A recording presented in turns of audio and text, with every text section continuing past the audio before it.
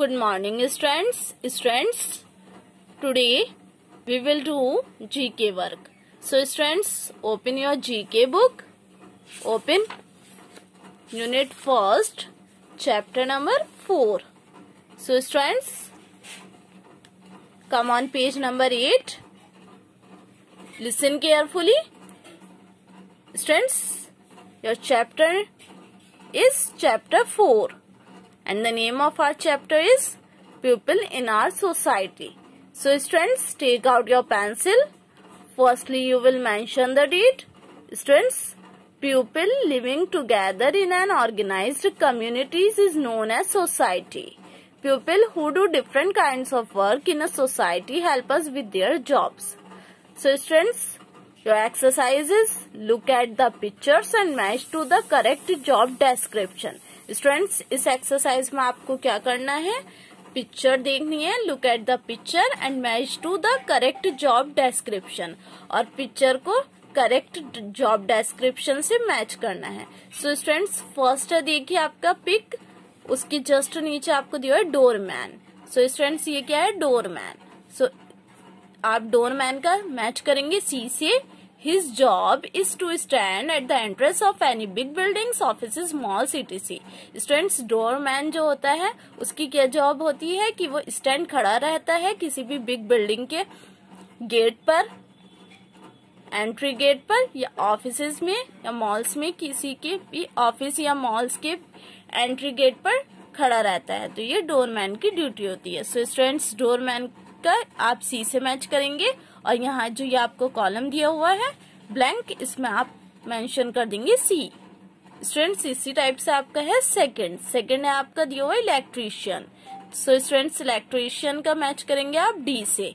His job is to connect and repair the electrical equipments students electrician की क्या job होती है? You know very well that electrician क्या होता है? इलेक्ट्रिकल अप्लायंसेस वगैरह रिपेयरिंग करता है। सो so, स्टूडेंट्स ये आप इलेक्ट्रिशियन का मैच करेंगे डी से। सो so, सेकंड में आपको यहाँ कॉलम दिया हुआ है ये तो आप यहाँ पर मेंशन कर देंगे डी इसी टाइप से थर्ड है आपका ग्रॉसर सो स्टूडेंट्स ग्रॉसर का आप मैच करेंगे। His job is to sell food and household items grocer की क्या ड्यूटी होती है? क्या जॉब होती है कि वो सेल करता है बेचता है।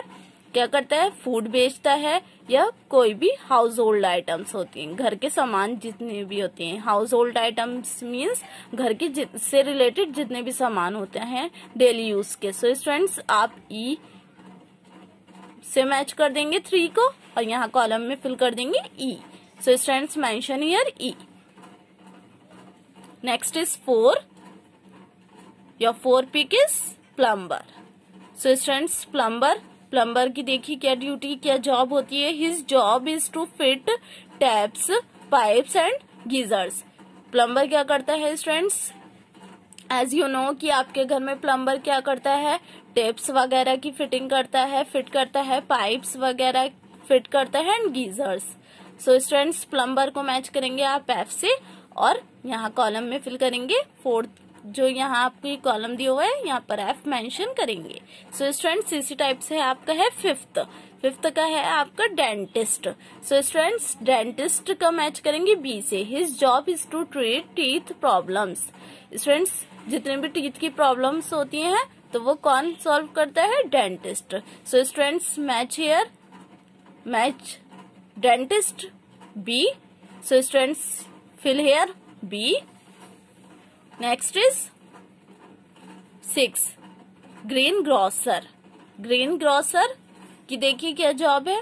स्टूडेंट्स जी से मैच करेंगे। His job is to sell vegetables यानी वेजिटेबल्स वगैरह सेल करते हैं ये बेचते हैं ग्रीन ग्रॉसर उसे हम क्या बोलते हैं? Green grocer so students green grocer का मैच कर दीजिए आप जी से और यहाँ फिल कर दीजिए कॉलम में जी इसी टाइप से नेक्स्ट है आपका फार्मर सो फार्मर का आप मैच करेंगे। His job is to grow crops इसकी जॉब जो होती है, क्या होती है? ग्रो क्रॉप्स क्रॉप्स को उगाना ग्रो करना।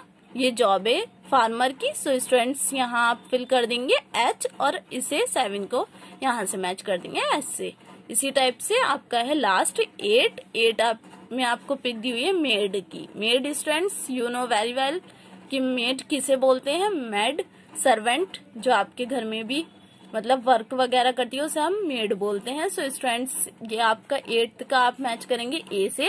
Her job is to clean other people house मतलब इनकी जॉब जो होती है वो क्या होती है कि ये मतलब अदर दूसरों के घर में जाकर सफ़ाई करती हैं। सो so, स्टूडेंट्स इसका आप यहाँ पर एट्थ का ए से मैच ए से मैच कर कर और यहाँ मेंशन कर देंगे ए लास्ट कॉलम में मेंशन करेंगे A so students mention here A. Students,